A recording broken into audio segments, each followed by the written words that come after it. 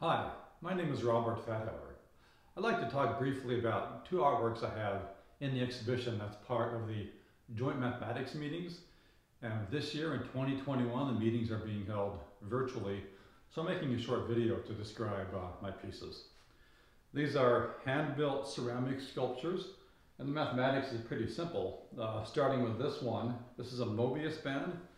I think everyone here knows what that is, but if you take a strip of paper, for example, and join two edges like so, you have an object with two sides and two edges. If you give it a half twist, it has one side and one edge. This sculpture has three half twists, which also has one side and one edge. This is made um, by, by molding clay by hand.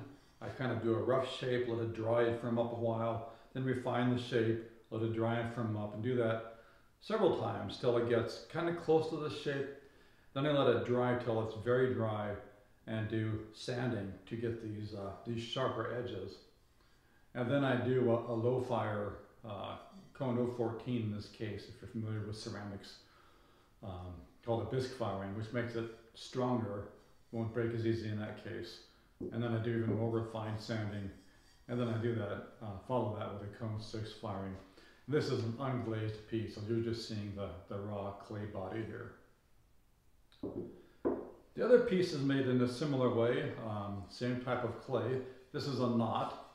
A knot is a, a closed curve in three space that has crossings um, and can't be untied. The simplest knot has three crossings. There's only one mathematically distinct knot with three crossings known as a trefoil. So this is a trefoil knot. Uh, mathematically, this would be just a line, but I gave it thickness. Um, I made it a band and give the band a little bit of curvature too. So those are my two pieces in the 2021 uh, Joint Mathematics Meetings uh, exhibition of mathematical art. Thanks for watching.